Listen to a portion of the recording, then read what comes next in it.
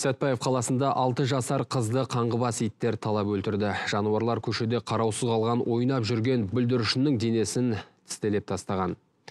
Адам шошырлық бұл оқиға Сәтпаевтың шетіндегі саяжайлардың бірінде болды. Баланы анасы демалыс күндері сондағы таныс кемпірге тастап кеткен.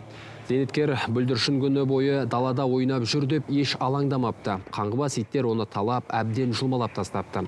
27 жастағы анасы болса, бұрыннан полицейлердің тіркеуінде тұр екен. Баласын бақпай, азаматтық некедегі жолдасымен қаңғып жүретін кезі көп. Сондықтан шетінеген қыздан бөлек кішкентай екі баласын тәртіп сақшылары бейімдеу орталығына алып кетті.